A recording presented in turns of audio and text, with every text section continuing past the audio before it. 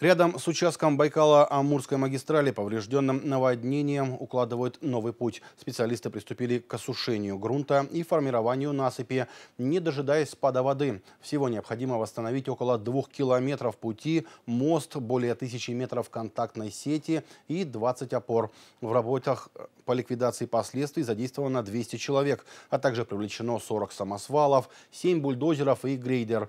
На время ремонта пассажиров перевозят на автобусах через барьерный участок на БАМе с вокзала Северобайкальска до станции Кичера.